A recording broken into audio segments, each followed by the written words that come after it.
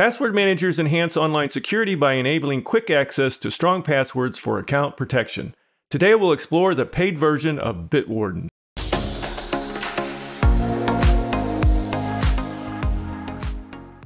Hello everyone, this is Rick with Cybermedics. Bitwarden offers more than password management. We'll demonstrate the key features that we think make the paid plan a wise investment.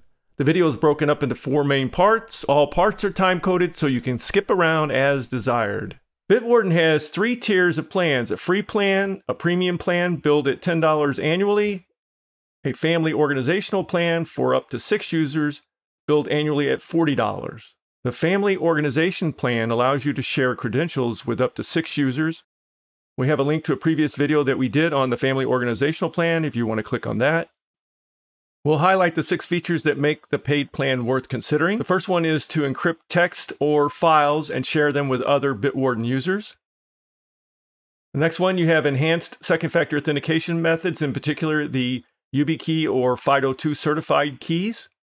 We have a link to a video we've done on YubiKeys. If you're interested in that, click above. You can do encrypted file attachments. You have up to one gigabyte of personal space and an additional gigabyte on the organizational account. You can use Bitwarden as a TOTP authenticator. They have detailed analysis reports of all of your credentials to highlight any vulnerabilities. And finally, you can designate someone for emergency access in case you become incapacitated. We'll highlight the six features.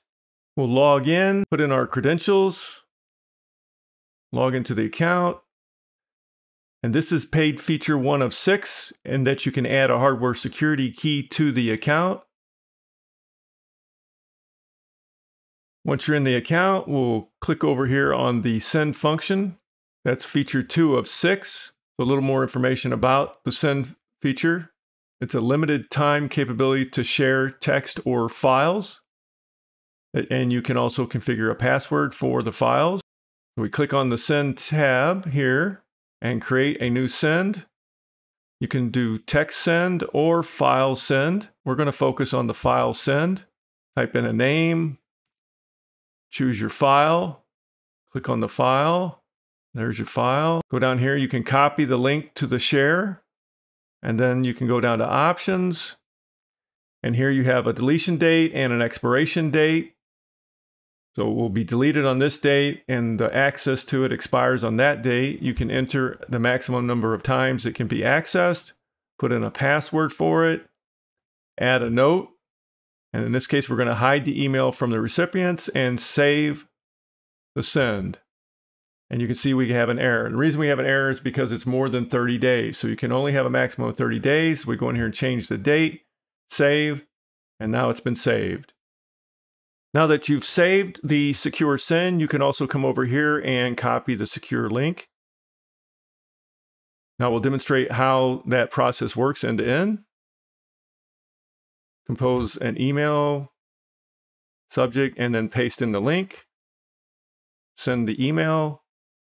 And since we send it to Proton Mail, we'll type in the credentials, sign in.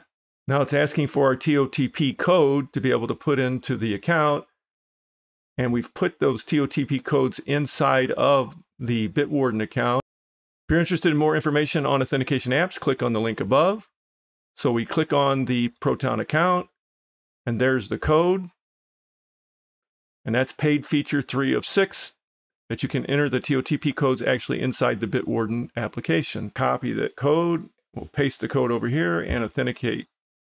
And then here is the email that we just sent. And here's the link. We click on the link. It's asking us to confirm the link. And because we put a password on the share, we type in the password hid the email address, so it's asking us to confirm that this is safe. So we'll download the file, click on the file, and then there it is. We'll go into the send just to show you under the options, the access count has been decremented by one. Back into the vault and we'll start with reports. And this is paid feature four of six. So we'll click on reports. First one we'll do is exposed passwords. Something interesting happened to me here because I had a client who had asked us to check on one of their accounts.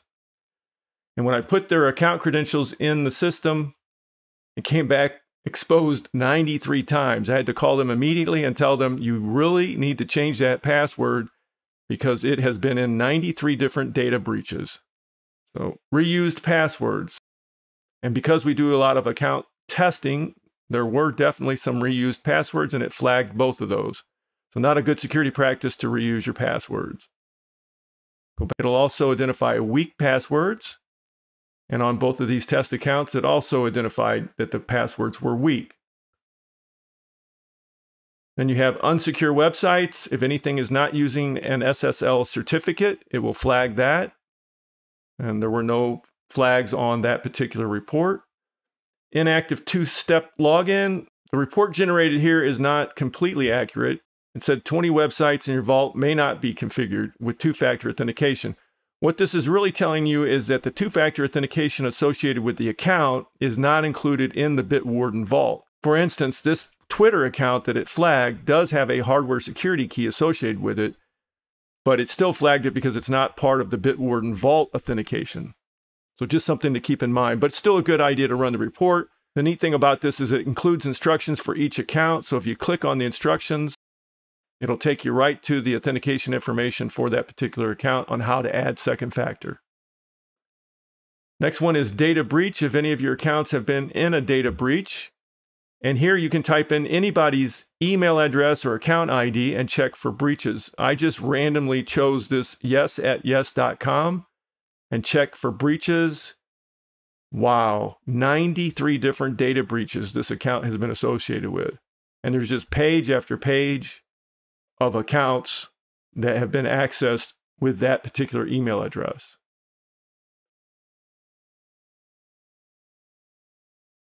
Next thing we're going to talk about is file attachments. This is paid feature 5 of 6.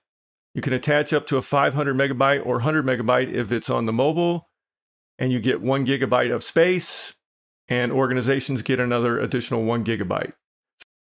You have to come in and find the particular item in your vault that you want to make an attachment with. And then once you do that, you click on the three dots over here, and you can say attachments. And then it's pretty simple. You just choose a file, click on the file, save, and there you go. That's the attachment.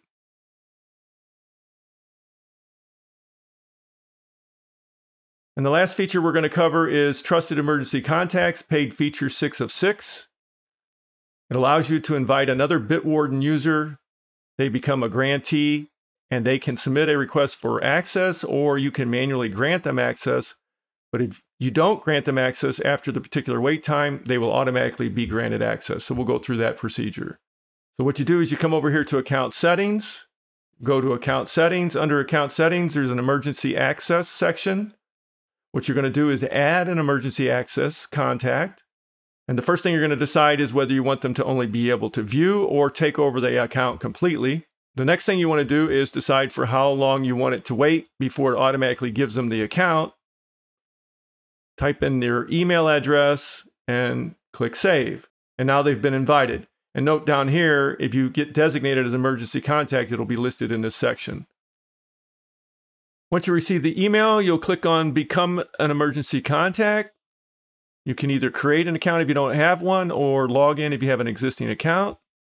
In this case, we'll log in and the invitation has been accepted. Go back into the grantor's account, and now it shows where your grantee has accepted the invitation. You have to come over here to the three dots under your account settings and click confirm. It's going to ask you to verify this fingerprint phrase. So, what is that? Account fingerprint phrase is a permanent part of your account made up of five random English words, and it securely identifies a Bitwarden user. And sometimes Bitwarden will ask you for yours or another user's to confirm a process. So what you want to do is you want to make sure the person that you're confirming that this is their actual fingerprint phrase and that way you have 100% certification that the person you're confirming is the one that you've designated. So we'll confirm that and if we go back into the grantee's account, you'll see they'll get an email that says you have been confirmed for emergency access. And if we go into the grantee's Bitwarden account, you'll see that they've been designated as an emergency contact. And as an emergency contact, they can come over here to the three dots under their account setting and they can request access. If they request access and it's not denied or confirmed from the grantor within that period of time that we set, in this case 14 days, it will automatically be granted to that account. All right, summarizing the paid plan. You get the YubiKey FIDO dual authentication as an additional authentication method, valuable health reports evaluating the health of your credentials to make sure you don't have any security vulnerabilities with your login IDs. Encrypted file attachments allow you to store secure critical information via the web through the vault. You can also use Bitwarden as a TOTP code authenticator application. You can send text and files through a secure link. And finally, add a trusted emergency contact. I think the top three are the most important, but overall, yes, I think it's well worth the money. That's a wrap of our Bitwarden paid subscription review. Would you please give the video a thumbs up and subscribe to the channel? This supports our efforts in helping others with technology. Post any questions or comments below and have a great and wonderful automation day.